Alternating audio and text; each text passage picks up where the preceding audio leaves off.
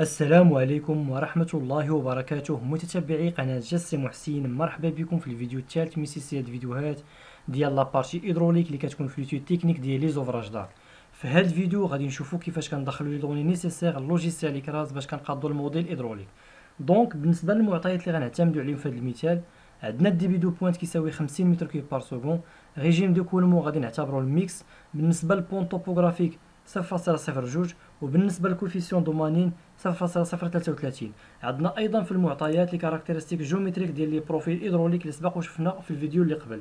donc نخليكم مع أهم المراحل ديال هاد la tâche.